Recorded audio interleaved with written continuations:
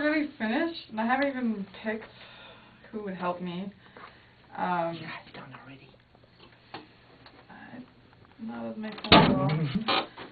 But um, I kind of have, I, yeah, I'm kind of on this one idea, but there's another idea. But like, I would like to be a sheep herder who has a bicycle that can spin wool, and somehow have a friend who can knit it, and we travel, and just like give out this sheep clothing.